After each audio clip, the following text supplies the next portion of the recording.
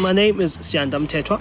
I am 35 years old and I'm the founder of Kuloola, South Africa's first rural online grocery store and delivery service based in Eshowe, KwaZulu-Natal. We started Kuloola to give people who live in rural areas, uh, especially the elderly and pensioners, the same access to products and services as people who live in towns and cities. Hi, my name is Monelo Shandi. Welcome to Kuloola in Eshowe. Today we're going to have a lot of fun delivering in Vegeza and Mahupu. Join us today on our fun journey with our drivers. Let's go!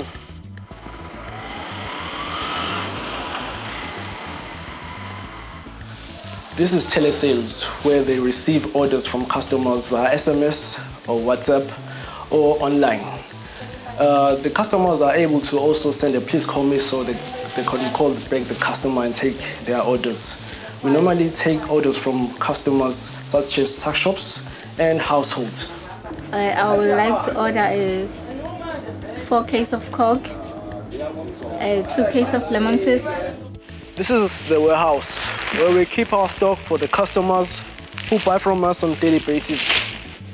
We normally pack according to the invoice that is being produced by the telesales. The orders are packed, they are checked, and they are loaded into the van and ready to dispatch. Rural households do not have an address, they are therefore not accessible.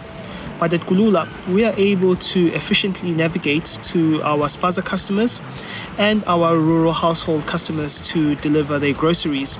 This sets us apart and gives us a strategic advantage, and that why we that is why we believe that as a first mover in the space, our business is very viable. In some areas, you'll find there is only one or van per day that's going town.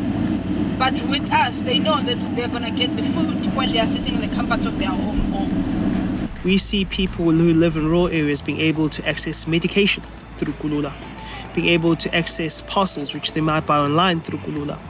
We see Kuloola taking rural communities to the next level of access to products and services. If we won the SABF Innovation Awards, we will use the money to optimize our technology. We want to optimize our online store we want to optimize our order taking through our call center. But most importantly, we want to develop applications for delivery agents and also for local ambassadors who place orders for local rural customers. We were born in rural areas, we were raised there. We've experienced all the difficulties. So, who then, other than us, to help improve the lives of ordinary South Africans? Kuloola!